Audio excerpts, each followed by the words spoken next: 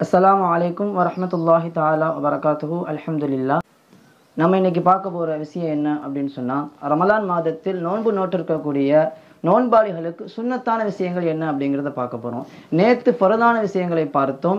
இன்னைக்கு சுன்னத்தான விஷயங்களை பார்க்க போகிறோம் எப்படி ஃபருதான விஷயங்களுக்கு அமல் செய்வது கட்டாயமோ அதே போன்று நபிகள் நாயகம் ஸல்லல்லாஹு அலேஹி வசலம் அவர்கள் காட்டி கொடுத்த சுன்னத்தான வழிமுறைகளுக்கும் நாம் கட்டாயமாக அமல் செய்ய வேண்டும். ஏனென்று சொன்னால் ஸல்லல்லாஹு அலைஹி ஹதீஸில் சொன்னாங்க லா துமினு நீங்கள் ஈமான் கொள்ள முடியாது. நான் கொண்டு வந்த விஷயத்தை தபால் லிமா ஜத்துபிகி முழுமையாக நீங்கள் பின்பற்றுகின்ற வரையிலும் உண்மையான மீன்களாக நீங்கள் ஆக முடியாது என்று நபி ஸல்லல்லாஹு அலைஹி நமக்கு சொல்லிக் கொடுத்துருக்குறாங்க. அந்த அடிப்படையில் ஃபரதை பின்பற்றுவதை போல நாயகம் சல்லல்லாஹு அலேஹி வஸல்லம் அவர்கள் காட்டி கொடுத்த சுன்னத்தான வழிமுறைகளையும் பின்பற்ற வேண்டிய ஒரு கட்டாயத்தில் நம்ம இருக்கிறோம். அப்போ அந்த அடிப்படையில் ரமலான் மாதத்திலே நோன்பு நோட்டு இருக்கக்கூடியவர்களுக்கு சுன்னத்தான விஷயங்கள் என்ன அப்படிங்கிறது நம்ம இப்போ பார்க்க போகிறோம் முதலாவதாக இஃப்தாருடைய நேரத்தை பற்றி சல்லா அலுவலம் அவர்களுடைய ஹதீஸ் வந்திருக்குது.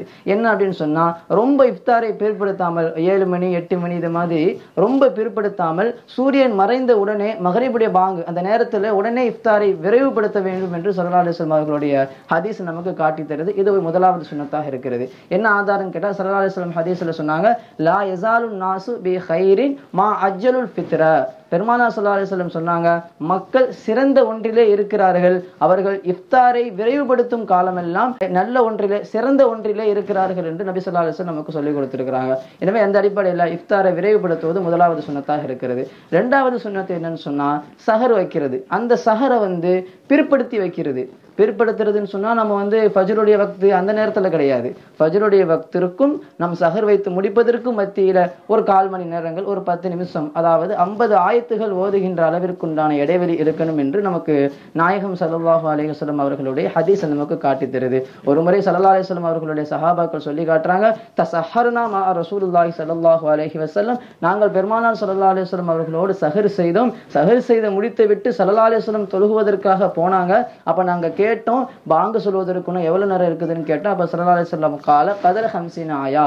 ஐம் ஐம்பது ஆயத்துகள் ஓதுவதற்குண்டான இடைவெளி இருக்குது என்று ஸல்லல்லாஹு அலைஹி சொல்லிக் கொடுத்தாங்க. எனவே இந்த அடிப்படையாக வைத்து நாம் பார்க்கின்ற பொழுது நாம் சகர் வைத்து முடிப்பதற்கும் பாங்கு சொல்வதற்கும் மத்தியில் ஒரு ஐம்பது ஆயத்துகள் அதாவது ஒரு பத்து நிமிடங்கள் இடைவெளி இருக்கும்படி நாம் சகரை முடித்துக் கொள்வது நமக்கு இந்த ஹதீஸின் மூலமாக தெரிய வருகிறது. இது இரண்டாவது சுண்ணத்தாக இருக்கிறது. மூன்றாவது சுன்னத் என்னவென்று சொன்னால் நாம் நோம் பிடித்து கொண்டிருக்கிற நிலையில தேவையில்லாத பேச்சுக்களை தவிர்த்து கொள்ளணும் என்று சல்லா அலுவலம் சொல்லிக் கொடுத்திருக்கிறாங்க. ஒரு ஹதீஸில் வருது நாயகம் சல்லா அலுவலம் சொன்னாங்க மல்லம் யதா கவுல சூரி நோன்பு பிடித்து கொண்டு யார் தேவையில்லாத தீய பேச்சுக்களை விடவில்லையோ ஃபலைசலில்லாஹி ஹாஜித்தும் ஃபி ஐ யதா தாமஹு வ ஷராபஹு. அவர் பசித்திருந்தும் அவர் தாகித்திருந்தும் அல்லாஹிற்கு எந்த ஒரு தேவையும் இல்லை என்று ஸல்லல்லாஹு அலைஹி சொல்லிக் கொடுத்துருக்கிறாங்க. எனவே நோன்பு பிடித்திருக்கிறவங்க தேவையில்லாத பேச்சுக்கள் கோல் புறம் இது போன்ற பேச்சுக்களை தவிர்த்திருப்பதும் சுன்னத்தான ஒன்றாக இருக்கிறது.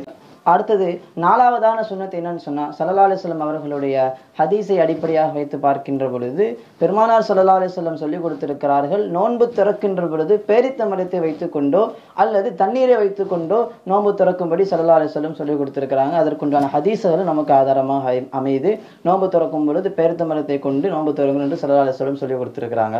அடுத்து ஐந்தாவதான சுன்னத்து என்னன்னு சொன்னால் இஃப்தாருடைய நேரத்தில் வெட்டியாக கழிப்பதை விட யாவாசி அல் பலலி எகுஃபிர்லி என்ற துவாவை ஓதி ஓதி அந்த இஃப்தாருடைய நேரத்தை கழிக்க வேண்டும் என்பதும் சல்லா அலுவலாம் அவர்களுடைய ஹதீஸ் நமக்கு காட்டி தருகிறது. அடுத்தது ஆறாவதான சுன்னத்து என்னன்னு சொன்னால் நபிகள் நாயகம் சல்லல்லாஹு அலேஹி வசலம் அவர்களுடைய வாழ்க்கையில் இஃப்தாருடைய நேரத்தில் நோன்பு திறக்கின்ற பொழுது என்ன துவாவை ஓதிருக்கிறார்கள் என்ற ஹதீஸரை பார்க்கும் பொழுது கான யகூலு அல்லாஹு மலக்க சுந்து ஆலா ரிஸ்கி காப்தருத்து என்ற இந்த துவாவை சல்லல்லாஹு அலேஹி வசலம் நோன்பு திறக்கின்ற நேரத்திலே ஓதக்கூடியவர்களாக இருந்திருக்கிறார்கள்.